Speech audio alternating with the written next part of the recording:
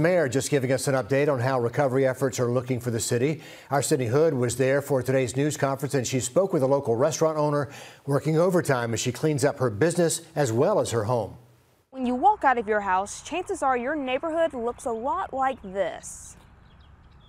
Drive just about anywhere and you'll see piles of debris, either blocking a driveway, on a car, or in a house. The question on many minds is how do you go about cleaning it up?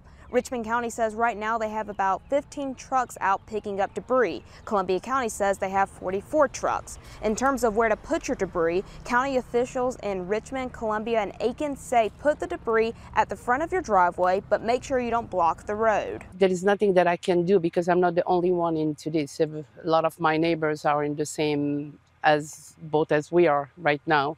And the only thing that we can do is to help each other with everything we could, like whoever's going doing some shopping, bring something to one another.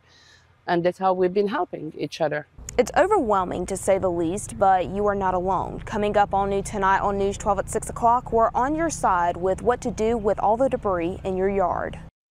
Sydney Hood there, I like her theory. The only thing we can do right now is help each other.